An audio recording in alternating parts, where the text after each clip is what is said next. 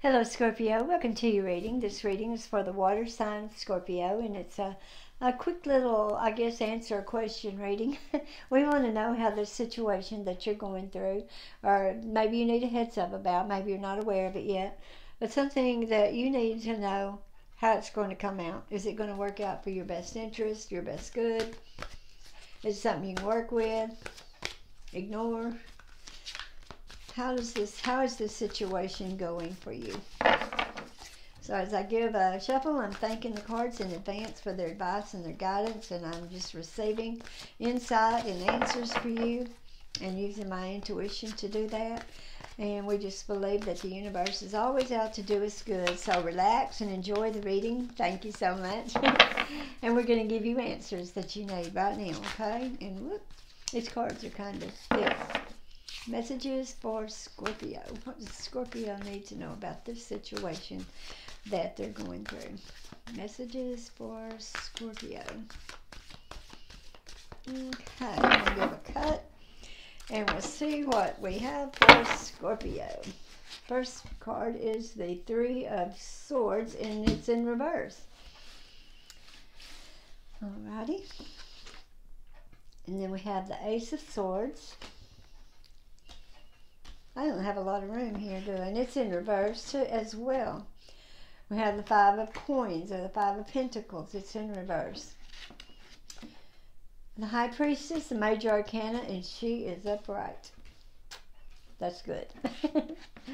and then we have the Devil. He is a Major Arcana, and he is upright as well. So let's see what this says for you. I'm going to take a moment or two to gather my, my little thoughts and my get my intuition in overdrive here. Let's see what we have for you. I'm going to get my little wand. Okay, the High Priestess and the Devil are both major arcana. So you're getting, um, it looks like you're seeing this person for what they are. If you can see, you're looking to your future.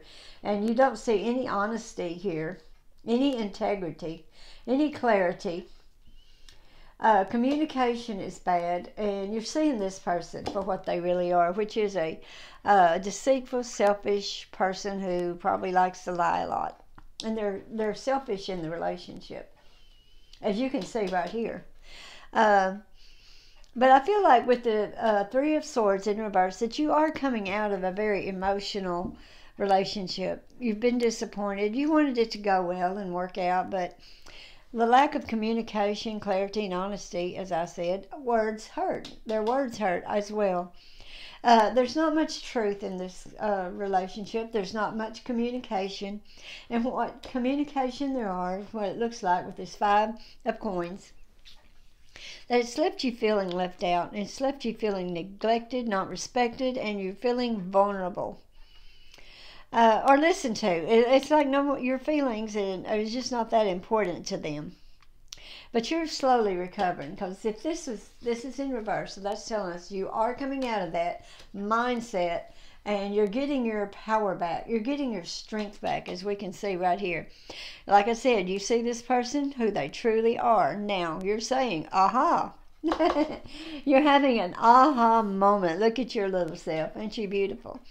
Um, and you're saying to yourself probably i thought so. So you're you know you're you're too good for them. That's what you're realizing. You've gone from this place to this place with that aha moment that you're just too good for this kind of situation for this person.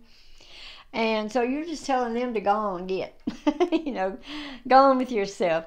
Um, i feel like you're um, You've been awful quiet, but I think you've got some things to say to this person. You're going to say it now. Okay? Um, your solar plexus, these oranges, is all telling you of that, uh, telling me that you have a lot of strength and determination to save yourself, and you're not going to take any more BS from this person.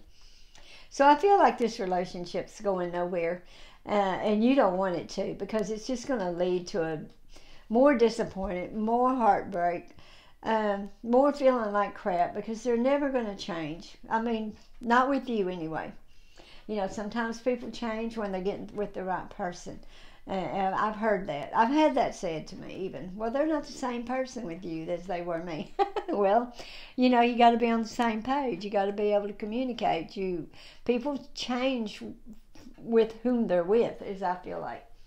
You know, as it if it works out good, then you're going to be able to communicate and get along. This is just not going to happen because this person is not um, who you need to be with. And I feel like they could be a Taurus. They could also be a Libra, uh, not Libra, Leo, I'm sorry, or an Aquarius, okay? Uh, so I'm going to go ahead and draw this, one of these for you. It may pertain to this reading, or it may add to this reading, or it may just address a whole nother issue, or it may just be some encouragement for you. So we're going to go ahead and give a cut and see what card we get. I'm sorry, that's so loud. um, and it's stuck together now. Yeah. yeah. Okay. This is the first quarter moon in Taurus.